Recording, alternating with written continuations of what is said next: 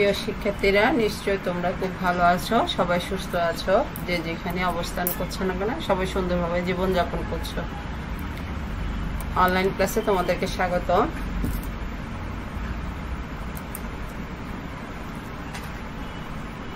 আমি, আমার পরিচয়টা তোমরা স্যারের সামনে অবশ্যই দেখছ। তবু আমি তোমার আমার নাম সুপর্ণা চৌধুরী, সহকারী শিক্ষক, আগ্রাবাদ বালিকা বিদ্যালয়। আমি আজকে তোমাদেরকে অনলাইন ক্লাসে অষ্টম শ্রেণির একটা ক্লাস নিব। হিন্দু ধর্ম নৈতিক শিক্ষার উপরে। দেখো আজকে আমরা তোমাদের সিলেবাস অনুযায়ী আজকে আমি পঞ্চম অধ্যায়ের একটা চ্যাপ্টার ধরলাম। পঞ্চম অধ্যায় দেবদেবী ও পূজা পার্বণ। নিশ্চয়ই তোমরা কি করছ? সবাই খাতা, বই, কলম নিয়ে সেটের সামনে বসে গেছো। যেহেতু তোমাদের স্কুল এখনও খুলে নাই, সেহেতু তোমাদের অনলাইন ক্লাসের মাধ্যমে ক্লাসগুলো হবে। আর যতদিন না পর্যন্ত স্কুল খুলছে, আমাদের অনলাইন ক্লাসটা নিতে হবে। সুতরাং তোমরা সেই অনুযায়ী সবাই প্রস্তুত থাকবে এবং অনলাইন ক্লাসগুলো তোমরা করছ কিনা সেটা অবশ্যই আমাদের স্কুল আইডিতে অবশ্যই দেবে। ঠিক আছে? সবাই নিশ্চয়ই ক্লাসগুলো দেখছ এবং তোমাদের উপকারের জন্য আমাদের অনলাইন ক্লাসগুলো করা। যেহেতু তোমাদের, আমাদের কিন্তু জেএসসি পরীক্ষা হয় সবসময় নভেম্বরের লাস্টে নভেম্বরের ফার্স্টে আর গতবার আমরা জেএসসি পরীক্ষা হয়নি, কিন্তু এবার হওয়ার সম্ভাবনা আছে। এখনও পর্যন্ত আমরা ধরে নিচ্ছি তোমাদের স্কুল কলেজ খুলবে এবং তোমরা আবার পুনরায় স্কুলে উপস্থিত হতে পারবে। চলো, আমরা মূল পাঠে ফিরে যাই। আমরা আজকে দেখো এখানে তোমাদের হিন্দু পঞ্চম অধ্যায় দেবদেবী ও পূজা পার্বণ নিয়ে তোমাদের সাথে উপস্থিত হয়েছি। দেখো, প্রথমে তোমরা বইটা হাতে নাও। ঈশ্বর নিরাকার হলো, মানব কল্যাণী তিনি বিভিন্ন সময়ে বিভিন্ন রূপে কি করেন পৃথিবীতে আবির্ভূত হয়ে থাকেন। ঈশ্বর যখন নিজেকে কোনো গুণ বা ক্ষমতাকে কোনো বিশেষ আকার বা রূপে প্রকাশ করেন, তখন তাকে দেবতা বা দেবদেবী বলেন যেমন ব্রহ্মা, বিষ্ণু, শিব, দুর্গা, কালী, লক্ষ্মী, সরস্বতী প্রভৃতি।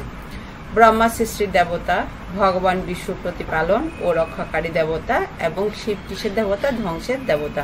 তোমরা এগুলো সবাই ছোটকাল থেকে জানো এবং সবার আর কি মুখে মুখে শুনেছ কে কীরকম, কোন দেবতা, কে আমাদের ধ্বংসকর্তা, কে আমাদের রক্ষাকর্তা কে আমাদের লালনকর্তা অবশ্যই তোমরা জানো। এবং এখানে এই ছবির মধ্যে তোমরা অবশ্যই দেখতে পাচ্ছ, দেখো এগুলো, এই যে ছবিটার মধ্যে প্রথমে এটা বাম পাশে হচ্ছে ব্রহ্মা, তারপর বিষ্ণু, তারপর শিব। নিশ্চয়ই তোমরা এগুলিকে চিনো এবং পূজা যখন দেখতে যায়, আমরা তো সব পূজায় হয়, সুতরাং আমরা সবাই জানি। দেখো এখানে, হিন্দু ধর্ম গ্রন্থে আমি এখান থেকে শুরু করেছি, যেহেতু আমাদের লেখা অনেক, সব লেখা তো আমাদের দেওয়া সম্ভব না, সেজন্য আমি এখান থেকে তোমাদেরকে শুরু করেছি। হিন্দু ধর্মগ্রন্থ অনুসারে আমরা তিন প্রকার দেবদেবী পাই। প্রথমে একজনকে বৈদিক দেবতা, দুই পৌরাণিক দেবতা, তিন লৈকিক দেবতা। আমরা এখন বৈদিক দেবতা গুলো কি এবং কোনগুলো সেটা আমরা দেখে নেব। দেখো, বৈদিক দেবতা। বৈদিক দেবতা কাকে বলে দেখো? যে সকল দেবতার নাম বেদে উল্লেখিত হয়েছে, তাদের বৈদিক দেবতা বলে যেমন অগ্নি, ইন্দ্র, বিষ্ণু, উষা প্রভৃতি। আমরা সবাই এগুলোকে চিনি। অগ্নি আগুনের দেবতা ইন্দ্রকে তোমরা চিনো, আর বিষ্ণুকে তোমরা চিনো উষাকেও তোমরা চিনো। উষা মানে কে? সূর্য, আমরা এক কথা যাকে বলি। তারপরে আসছি আমরা পৌরাণিক দেবতার কথা, দেখো। যে সকল যে সকল দেবতার নাম পুরাণে উল্লেখিত হয়েছে, তাকে পৌরাণিক দেবতা বলে, যেমন কে কে দুর্গা, কালী, গণেশ প্রভৃতি। লৈকিক দেবতাগুলো কে কি দেখো? বেদে বা পুরাণে উল্লেখ নেই, লৈকিকভাবে পূজিত হয়। অর্থাৎ মানুষের মুখে মুখে যেগুলো আদিকাল থেকে চলে আসছে, সেগুলোর কথা বলেছে লৌকিকভাবে পূজিত হন এমন দেবতাদের বলা হয় লৌকিক দেবতা, যেমন শীতলা, মনসা, শনি প্রভৃতি। এই আমরা এই সকল দেবদেবীর পূজা করে থাকি।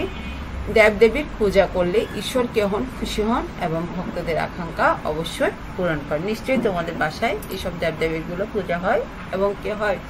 আর আমরা ঈশ্বরকে যেন, আমরা কাছে ঈশ্বরকে দেখতে না পাই, কিন্তু ঈশ্বর আমাদের দেখতে পাচ্ছে। আমাদের কর্মকাণ্ডগুলো কিন্তু ঈশ্বররা সবসময় কি করে?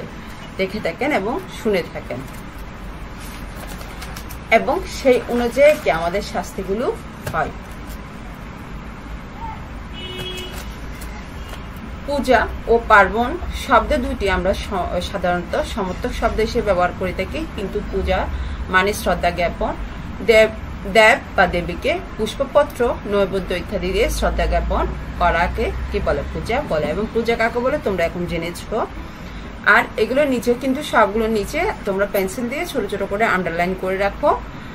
আর পার্বণ শব্দের অর্থ হলো কোনটা? পর্ব বা উৎসব। উৎসব মানে কি? আনন্দ অনুষ্ঠান। অর্থাৎ হিন্দু ধর্মের বিধিবিধান অনুসারে বিভিন্ন দেবদেবীর পূজায় বিভিন্ন ধরনের উৎসবের আয়োজন করা হয়। একে বলে পার্বণ।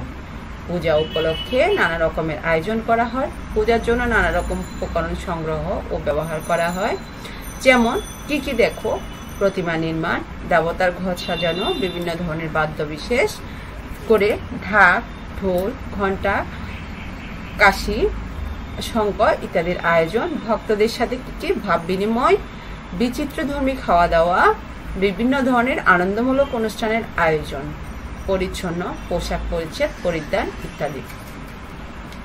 পার্বণ পূজা অনুষ্ঠানের অধিক আনন্দগণ করে কি করে তোলে ফলে ঈশ্বর ও দেবদেবীর প্রতি ভক্তি, একাগ্রতা, গভীর শ্রদ্ধাবোধ নিজেদের মধ্যে সম্প্রীতি ও সংহতি কি ইত্যাদি সৃষ্টি হয়। এই অধ্যায়ে আমরা পূজার উপকরণ, উপাচার, এগুলো ব্যবহারের তাৎপর্য, মনসা নারায়ণ ও শনিদেবের পরিচয়, পূজা পদ্ধতি প্রণামবন্ধ ইত্যাদি সম্পর্কে কি করব জানব। নিশ্চয় আমি যতটুকু পড়েছি, তোমরা নিশ্চয়ই বুঝতে পেরেছ এবং পাশে অবশ্য বই খাতাটা রয়েছে। আর যেগুলো, যে লাইনগুলো তোমাদেরকে খুব ইম্পর্টেন্ট মনে হয়, সে লাইনগুলো তোমরা কি করবে? অবশ্যই আন্ডারলাইন করবে। আর যখন আমরা ক্লাসে যাব তখন বাদ বাকি তোমরা যেগুলো বুঝবে না, সেগুলো তোমাদেরকে কি করব, আমরা বুঝিয়ে দেওয়ার চেষ্টা করব। ঠিক আছে? অবশ্যই তোমরা কি কাজগুলো করবে।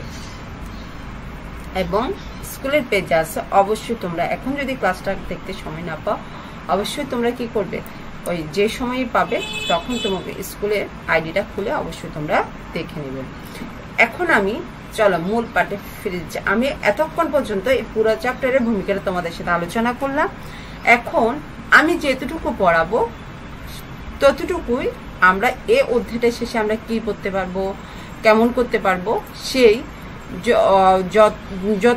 এই চ্যাপ্টারে যতটুকু তোমাদের আজকে পড়ানো হবে, সেটার উপরে তোমরা দেখো। পূজার উপকরণের ধারণা তোমরা ব্যাখ্যা করতে পারবে। পূজা পার্বণ ও ধর্মীয় অনুষ্ঠান ব্যবহৃত প্রাকৃতিক উপাচার ব্যবহারের তাৎপর্য তোমরা কি করে ব্যাখ্যা করতে পারবে? চলো, আমরা একটু সামনের দিকে চলে যাই। দেখো, পূজার উপকরণ, ধারণা ও পূজার উপকরণ ব্যবহারের তাৎপর্য। হিন্দু ধর্মে বিভিন্ন দেবদেবীর পূজা করা হয়। পূজা করার বিভিন্ন কি কি আছে? বিভিন্ন রীতিনীতি আছে, যাকে বলে পূজার বিধি। অর্থাৎ পূজার বিধি তোমরা কোনগুলো সেটা তোমরা দেখতে পাচ্ছ। যে এখানে তোমাদের এখানে এই ছবির মধ্যে দেখা যাচ্ছে, দেখো, এখানের মধ্যে নানা রকম পুষ্প দিয়ে এগুলো সাজানো হয়েছে এবং কোনখানে এখানে ব্রাহ্মণ বসানোর জন্য আসনটা দেওয়া হবে।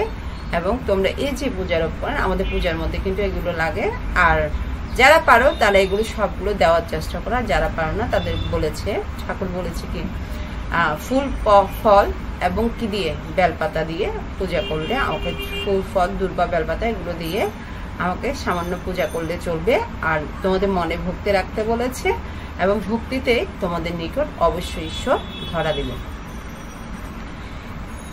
বিভিন্ন দেবদেবীর পূজার সঠিকভাবে করার জন্য ও পূজার রীতিসমূহ সঠিকভাবে পালন করার জন্য বিভিন্ন ধরনের সামগ্রীর প্রয়োজন হয়। এই সকল পূজার সামগ্রীকে পূজার উপকরণ বা পূজার উপাচার বল। অর্থাৎ পূজার মধ্যে যে জিনিসগুলো লাগে তোমাদের তোমাদের সামনে সবসময় দেখো, সেগুলোই তিনি পূজার সামগ্রী বা সেগুলো পূজার উপচার। উদাহরণস্বরূপ বলা যায়, পূজার রীতিনীতি ও বিধি অনুসারে অবিষ্ট দেবতার উদ্দেশ্যে নৈবেদ্য সমর্পণ করতে হয়। নৈবেদ্যের জন্য বিভিন্ন ধরনের ফল, মিষ্টি বা অন্যান্য খাদ্যদ্রব্যের প্রয়োজন হয়। এগুলোকে পূজার উপকরণ বা উপাচার বলে। দেবদেবীর পছন্দ অনুযায়ী পূজার উপকরণের ভিন্নতা রয়েছে, তবে সাধারণভাবে বিভিন্ন দেবদেবীর পূজার জন্য, পূজা করার জন্য নিম্নবর্ণিত উপকরণসমূহ ব্যবহার করে থাকে। অর্থাৎ নিচের যে বর্ণিত, একটার পরে একটা আমার আমার, এখন আমরা দেখব, দেখো। প্রথমে আমাদের কি বিগ্রহ বা প্রতিমা বা তোমাদের যেটা থাকে সেটা ঘট স্থাপনটা দেখো। আমরা কীভাবে ঘরটা স্থাপন করব? পূজায় দেবদেবীর বিগ্রহ বা প্রতিমা নির্মাণ করা হয়। পূজা এখন আমরা এখানে বিগ্রহ বা প্রতিমা, তারপর কি কলস বা ঘর, এই দুইটা নিয়ে তোমাদের সাথে আলোচনা করছি। দেখো, প্রতিমা, বিগ্রহ বা প্রতিমা আমাদের পড়া হয়ে গেছে। এখন কলস বা ঘর, দেখো। পূজার উপকরণ হিসেবে মাটি বা ধাতুর তৈরি একটি কলস বা ঘর ব্যবহার করা হয়। পূজার সময় কলসটি গঙ্গা নদীর জল বা প্রবাহমান নদীর পরিষ্কার জল দিয়ে পূর্ণ করা হয়। আমরা অবশ্যই ঘরে, সবার ঘরে অবশ্যই গঙ্গার জল রয়েছে। সেই গঙ্গার জলের কথা বলা হয়েছে। সে আমরা ঘরটা কীভাবে করি। সেই জিনিসটা এখন তোমাদের সামনে তুলে ধরা হচ্ছে।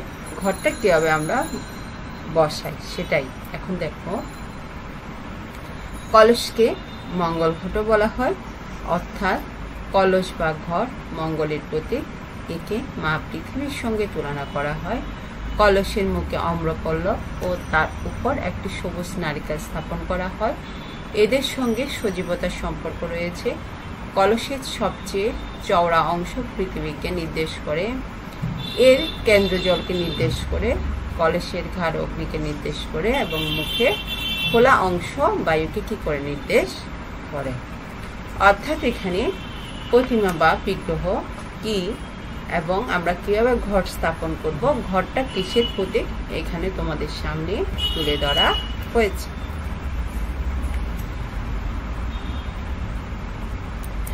দেখো প্রদীপ, এরপরে আসছে প্রদীপ শঙ্খ ফুলের মালা, আসন ও মুকুট। দেখো প্রদীপ। প্রদীপটা কি? পূজার একটি উপকরণ প্রদীপ। প্রদীপ সৃষ্ট আলো সকল অন্ধকার দূর করে বলে একে জ্ঞানের প্রতীক হিসেবে ধরা হয়। প্রদীপ কিন্তু একটা জ্ঞানের প্রতীক হিসেবে এখানে ধরা হয়েছে। প্রদীপ আমাদের জীবনের আলো ও আত্মাকে কী করে নির্দেশ করা? অর্থাৎ এটাই আমাদের একটা সুন্দর একটা জিনিস। অর্থাৎ এই প্রদীপ আমাদের মনের অন্ধকার দূর হয়ে সামনের দিকে আমাদের চলার পথকে নির্দেশ করে। শঙ্খটা কি দেখো? শঙ্খ মঙ্গলসূচক পূজার উপকরণ যা সৃষ্টি পবিত্র ধ্বনি সৃষ্টি করে। এর সুরেলা ধ্বনি যেন সকলকে জ্ঞানের জগতে, ভক্তি জগতে আহ্বান জানায়। তোমরা এসো, দেবতাদের কাছে আনত হও। দেখো, আত্মনিবেদন করো। অর্থাৎ কি বলেছে এই শঙ্কটা আমাদের একটা মঙ্গলের হিসেবে ধরা হয়েছে এবং সেই আমরা যদি কখনো কোনো জায়গায় অর্থাৎ শঙ্করধ্বনি শুনে যে আমাদের কিন্তু দিনটা খুবই ভালো যায় সেটা আমরা সবাই জানি। শঙ্ক ঘণ্টা কাঁসায় এগুলো যখন আমরা বের হওয়ার সময় কোনো বাড়িতে কি করে বাজানো হয়, তখন আমরা কি করি? আমাদের নিশ্চয়ই যে কাজটা আমরা করতে যাচ্ছি সেই কাজটা আমাদের কী হবে সবচেয়ে মঙ্গল হবে। আমরা সেই ধারণা নিয়ে আছি এবং থাকব। যেহেতু আমরা সনাতন ধর্মের লোক, সেহেতু আমাদের এই ধারণাগুলো অবশ্যই জানা দরকার। এরপরে আমাদের ফুলের মালাটা কি দেখুন আমরা গেলাম প্রদীপ, শঙ্খ, ফুলের মালাটা দেখো। ফুলের মালা দেবদেবীদের সম্মানিত ও সর্জিত করার মাঙ্গলিক উপকরণ হিসেবে ব্যবহার করা হয়। দেবদেবীদের সুন্দর করে সাজানোর জন্য এই ফুলের মালাটা ব্যবহার করা হয়। এরপরে আসনটা দেখো। আসন দেবতাদের বসার জন্য ব্যবহার করা হয়। অর্থাৎ যে আসনটা দেওয়া হয়, সে আসনটা দেবতা আমাদের যে, এই যে, এই আসনটা রয়েছে দেখো এই আসন কি হয় দেবতাদের দেওয়ার জন্য? অর্থাৎ এখানে আমরা বিভিন্ন ধরনের কি করি? দেবমূর্তি আমরা প্রতিষ্ঠিত করি এবং সেগুলো এখানে রাখা হয়। এগুলো হচ্ছে আমাদের একটা তৈরি আসন। এই আসনটা আমাদের সবার ঘরে, সব হিন্দু বাড়িতে কিন্তু রয়েছে। এরপরে এই যে নিচের অংশটা দেখছ, এটা একটা মুকুট। অর্থাৎ মুকুটটা হচ্ছে সম্মানের প্রতীক। এটা সব দেবদেবীদের কিন্তু মাথায় থাকে। মুকুট দেবতাদের উচ্চ সম্মানের প্রতীক, অর্থাৎ সব হ্যাঁ ঠিক। এই মুকুটটা আমরা আবার কি করি? আমাদের যখন বিয়ে হয়, তখন আমরা মুকুটটা দিয়ে থাকি। আমাদের মাথার মধ্যে সেটা হচ্ছে উচ্চ সম্মানের একটা প্রতীক হিসেবে ব্যবহার করা। অর্থাৎ এই দেব দেবদেবীদের প্রতীক এই মুকুটটা একটা উচ্চ সম্মানের প্রতীক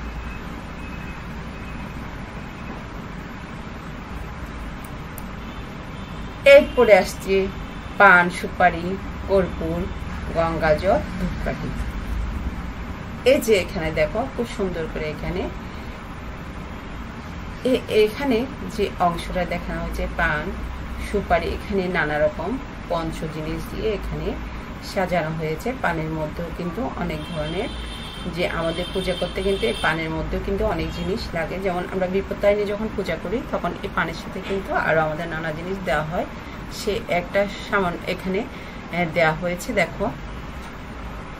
পান সুপারি। পানের মধ্যে দিয়ে বিভিন্ন দেবী অধিষ্ঠান কল্পনা করা হয়। সুপারির কঠিন অংশ আমাদের অঙ্গদের প্রতীক। যা পূজার শেষে দেবতারা দেবতার উদ্দেশ্যে কি করা হয়? সমর্পণ করা হয়। এরপরে আছে কর্পূর। এই যে কর্পূর, দেখো কর্পূরটা আমাদের সবার ঘরে রয়েছে। সুগন্ধি কর্পূর পূজার পরিবেশকে বিশুদ্ধ স্নিগ্ধ করে।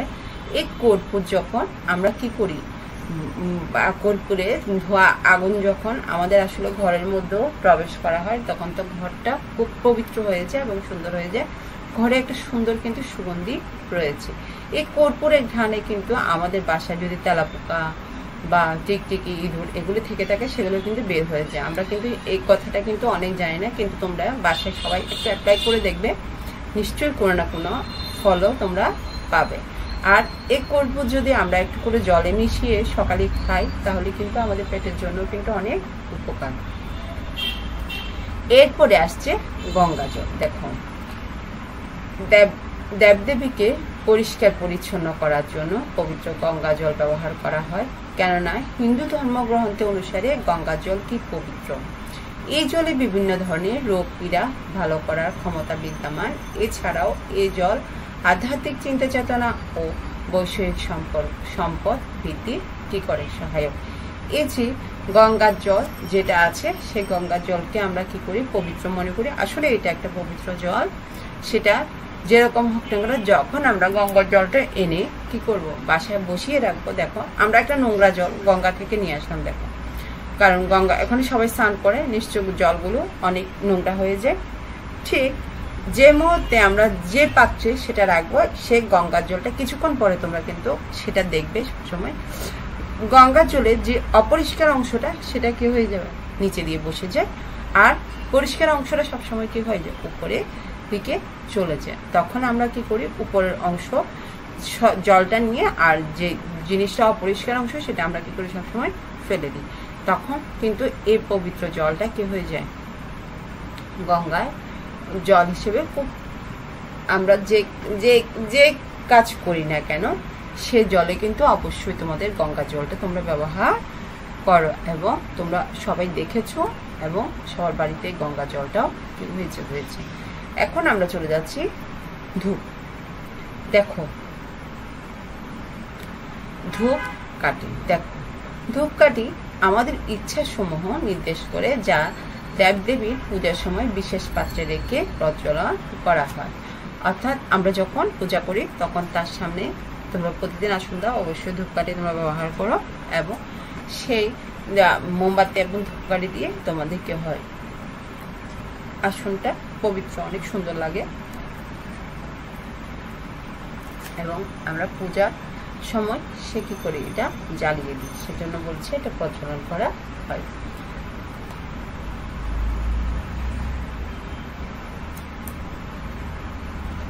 এরপরে আসছে থালা ধূপ চন্দন, আবির চাপ আমি কিন্তু এখানে তোমাদেরকে এক একটা অংশ এখানে তৈরি করে দেখাতে পারতাম, থালা আলাদা করতে পারতাম, ধূপ আলাদা করতাম, কিন্তু আমি সেটা করিনি। যেহেতু আমার অত কিছুর ইয়ে নেই তোমাদের, যেহেতু লেখাগুলো অনেক ছোট, সেজন্য আমি কি করেছি, সবগুলো একসাথে করে, পাঁচটা, চারটা করে, ওরকম করে এই স্লাইডগুলো তৈরি করেছি। দেখো, এখানে থালা। থালার মধ্যে এখানে কিন্তু তোমরা অনেক জিনিস দেখতে পাচ্ছ, অবশ্যই দেখতে পাচ্ছ না। এই যে বিভিন্ন কি একটা থালার মধ্যে আমরা কিন্তু অনেক জিনিস রাখতে পারি। এখানে সিঁদুর দেখতে পাচ্ছ, গঙ্গা, তোমরা কি বিশুদ্ধ জল দেখতে পাচ্ছ, ঘণ্টা দেখতে পাচ্ছ। তারপরে এখানে কি আছে? একটা ফল দেখতে পাচ্ছ। এখানে তোমরা কি দেখতে পাচ্ছ এটা? ফুল দেখতে পাচ্ছ। তারপরে তোমরা দেখতে পাচ্ছ এখানে কি করে একটা প্রদীপ দেখতে পাচ্ছ। এখানে ধূপকাঠি দেখতে পাচ্ছ। এই যে এখানে রাখা হয়েছে, এগুলো আমাদের একটা, এক একটা পূজার সামগ্রীর মধ্যে থালার মধ্যে সাজিয়ে রাখা হয় এবং এই পূজার সামগ্রীর মধ্যে আমাদের দরকার হয়। থালায় বিভিন্ন সামগ্রী পূজার উদ্দেশ্যে কি করা হয়? রাখা। এখন আসছে ধূপ। ধূপ এক ধরনের কি? সুগন্ধিযুক্ত, যুক্ত ধোয়া সৃষ্টিকারী পূজার উপকরণ যা আমাদেরকে খারাপ কি করে? শক্তির প্রভাব থেকে কি করে? মুক্ত করে বলে বিবেচনা করা হয়। চন্দন চন্দন কাঠ, সুগন্ধি, চন্দন কাঠ জলে ঘষে অনুলেপন তৈরি করা হয়। এরপরে চন্দনের গন্ধ পবিত্র পরিবেশ সৃষ্টি করে। এই কারণে কি করা হয়? দেবদেবীর উদ্দেশ্যে সচন্দন পুষ্প ও বিল্লপত্র নিবেদন করা হয়। চন্দন একটি মঙ্গলজনক ও নান্দনিক পূজা উপকরণ। নিশ্চয়ই তোমরা সবাই পূজার সময় কি করো? চন্দন বাটো। সবাই তোমরা এগুলো জানো। এবং যখন আমাদের চন্দনগুলো কাটা হয়, অনেক সুগন্ধ বের হয়, সেজন্য বলেছে সে চন্দনের কথা।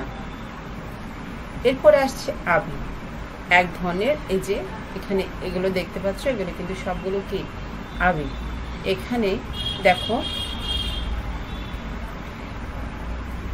এক ধরনের লাল রঙের গুঁড়া যা দেবদেবীর জন্য ব্যবহার করা হয়। এখন লাল গুঁড়া বললে হবে না, এখানে সবুজ গুঁড়া আছে, হলুদ গুঁড়া আছে, গোলাপিও আছে, নানা রকমের গুঁড়া রয়েছে, নীল আছে, কমলা আছে, বেগুনে অনেক বারো রকমের গুঁড়া এখানে পাওয়া যায়। সেজন্য বলেছে, দেখো, এক ধরনের রঙের গুঁড়া যা দেবদেবীর জন্য ব্যবহার করা হয়। এই যে, আবিরটা কিন্তু আমাদের বেশিরভাগ সময় আমরা যখন দোল যাত্রা পূজা করি, তখন কিন্তু এই আবির অংশটা, জিনিসটা আমাদের কিন্তু প্রয়োজন হয়। এরপরে আসছে চাল। চাল বস্তুগত উপকরণ হিসেবে ব্যবহার করা হয়, অর্থাৎ চাল এক, এমন একটা জিনিস যা দিয়ে কি করা হয়? আমরা যখন কি করে পুজো করি, প্রতি পুজো আমাদের একটা পুজো দিতে হয়। এই চালটা পূজার উপকরণ হিসেবে আমাদের একটা ব্যবহার করা হয়। অর্থাৎ আমরা কিছু জিনিস, দক্ষিণা, এই চাল এই তরকারি, এসব পঞ্চ জিনিস দিয়ে আমরা কি করি, ব্রাহ্মণকে কিছু সীতা দিয়ে থাকি, এই চাল তার একটা অংশ। এরপরে আসছে নৈবেদ্য পঞ্চরীতি। ঘণ্টা হলুদ পবিত্র সুতা। অর্থাৎ এগুলো কি দেখো? নৈবেদ্য। এই যে এখানে দেখছ, নৈবেদ্য, ফুল, ফল, মিষ্টি জাতীয় ইত্যাদি নৈবেদ্য হিসেবে প্রদান করা হয়, যা দেবদেবী আমাদের কাছে কাছে আমাদের আত্মসমর্পণকে কি করে নির্দেশ করেন? এরপরে আসছে কি? এই যে আমরা এই মিষ্টি ফুল, ফল যেগুলো আছে, এগুলো দেবদেবী আমরা দেবদেবীর কাছে দিয়ে সেগুলো মনে করি। আমরা কি দেবদেবী এগুলো নিয়েছি এবং আমাদের মনে একটা সন্তুষ্টি চলে আসে। দেখো পঞ্চারতি একই সাথে পাঁচটি প্রদীপ প্রজ্বলন করা যায় এমন একটি পূজার উপকরণ। অর্থাৎ পঞ্চ আরতির মাধ্যমে আমরা কি করি? সবাই যখন পূজা শেষ হয় ব্রাহ্মণ যখন আরতি প্রদান করে, তখন আমরা পঞ্চপ্রদীপ একটা জ্বালাই না সেটা হচ্ছে পঞ্চ আরতি। অর্থাৎ ওইটার মাধ্যমে ব্রাহ্মণ কি করে? আমাদের একটা মঙ্গলের জন্য আরতিটা করে থাকে। ঘণ্টা, পূজায় ঘণ্টা বাজানো হয়। এটি মঙ্গলজনক শব্দ, সৃষ্টিকারী পূজার উপকরণ। দেখো, ঘণ্টা যখন বাজানো হয় পূজায় যখন ঘণ্টা বাজানো হয়, একটা অনেক সুন্দর একটা শঙ্খ বাজানো হয়, একটা সুন্দর ধ্বনি সৃষ্টি হয়। সেটা একটা পূজার শব্দ সৃষ্টিকারী পূজার একটা উপকরণ। হলুদ হলুদ পরিশুদ্ধ চিত্তকে নির্দেশ করে এবং মনকে আকর্ষণ করে। এছাড়া ও হলুদ দেবী দুর্গার প্রতীক। অর্থাৎ কি বলেছে দেখো, হলুদ কিন্তু আমাদের একটা নিজেকে শুদ্ধ করার একটা জিনিস। একটা মনের মধ্যে আকর্ষণ করার একটা জিনিস। এছাড়া হলুদটা কিন্তু দেবী দুর্গার একটা প্রতীক। অর্থাৎ চিহ্ন হিসেবে ব্যবহার, পূজার একটা চিহ্ন হিসেবে ব্যবহার করা হয়।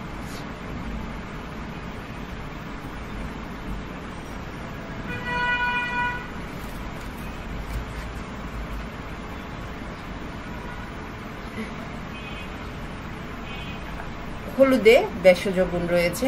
আমরা সবাই কিন্তু এই হলুদটা আমাদের যে পূজার কাজে ব্যবহার করা এই হলুদ কিন্তু আমাদের কি খাওয়ার কাজেও ব্যবহার করতে পারি আমরা, এটা আমাদের একটা কি হয়।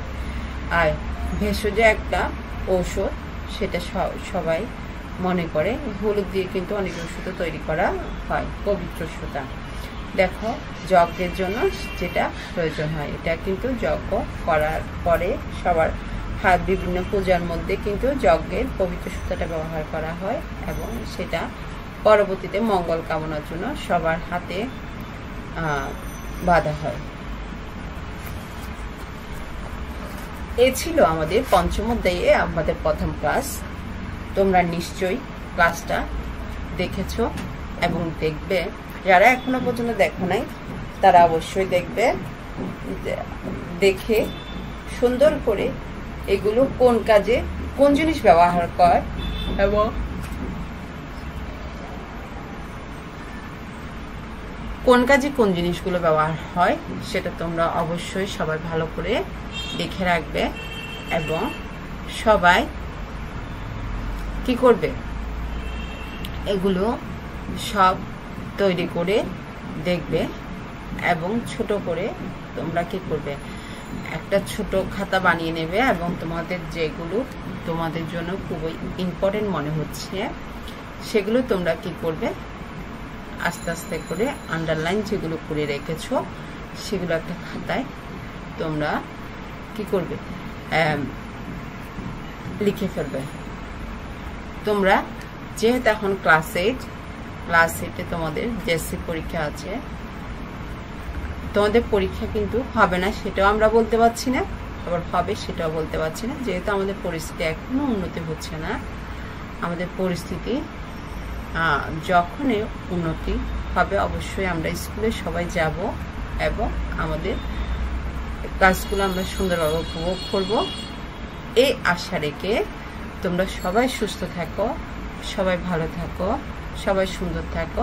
আগামী ক্লাসের আমন্ত্রণ জানিয়ে আমি আজকের মতো তোমাদের এই ক্লাসটা কী করছি শেষ করছি সবাইকে আবার আবারও অনেক অনেক ধন্যবাদ।